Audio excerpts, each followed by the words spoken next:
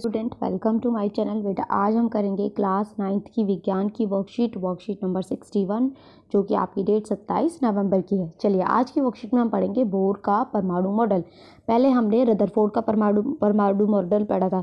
Rutherford ने क्या कहा था? रदरफोर्ड के परमाणु मॉडल के अनुसार परमाणु बहुत अधिक अस्थिर होना चाहिए। अस्थिर मतलब वो स्थिति, यानी कि फिक्स नहीं होना चाहिए। तो फिर परमाणु का स्थिर अस्तित्व किस प्रकार संभव है?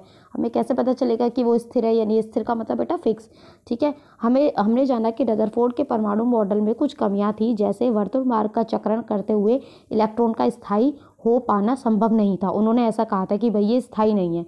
लेकिन जो दूसरे वैज्ञानिक हैं, नील्स बोर्न उन्होंने ये बताया, उन्होंने इन कमियों को दूर किया और वो जो कमियों को दूर किया, वो एक मॉडल था, परमाणु मॉडल, उसको बताते हुए उन्होंने उसको दूर किया। चलिए, ये देखिए, बोर का परमाणु मॉडल है।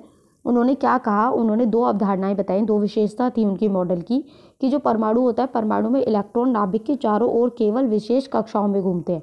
ठीक है? विशेष ये जो आपका नाभिक है, इसकी विशेष कक्षाएँ होती हैं, उनमें घूमते हैं ये, जिन्होंने इलेक्ट्रॉन की ऊर्जा स्तर या विकविक्त कक्ष कहा जाता है। इनको क्या कहते हैं? ऊर्जा स्तर कहते हैं, क्योंकि प्रत्येक ऊर्जा स्तर की ऊर्जा निश्चित होती है जो इनकी एनर्जी होती है, फिक्स होती है।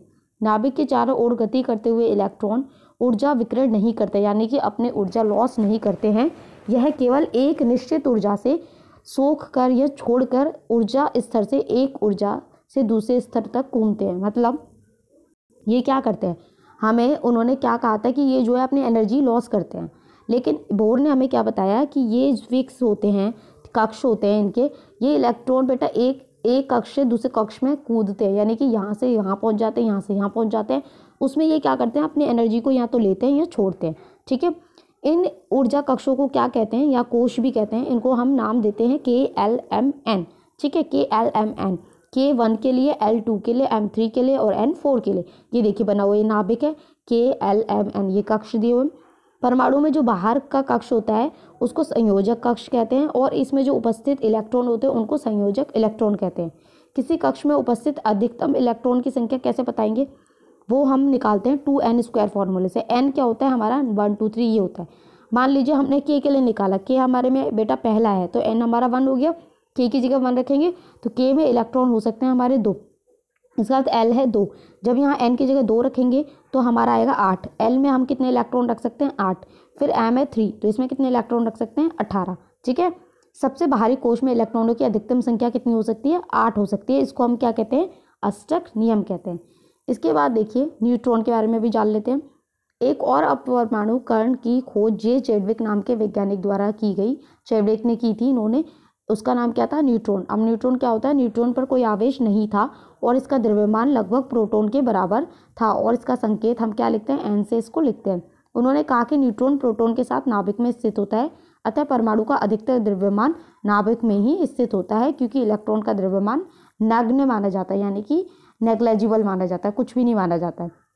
उन्होंने हमें पहले कहा था कि ये सिर्फ़ प्रोटॉन होता है, लेकिन इन्होंने कहा है प्रोटॉन प्लस न्यूट्रॉन दोनों होते हैं केंद्र में। ठीक है? अब ये देखिए सोडियम परमाणु की संरचना दी हुई है बेटा। सोडियम का एटॉमिक नंबर होता है इलेवन तो हम इसको लिखते हैं टू एट एंड वन यानी कि पहले वाली शेल में दो इलेक्ट्रॉन है, दूसरी वाली में कक्ष में आठ हैं और फिर लास्ट में एक इलेक्ट्रॉन है ना? चलिए क्वेश्चन देख लेते हैं। नील्स बोर के परमाणु मॉडल की दो प्रमुख अवधारणाएँ क्या हैं?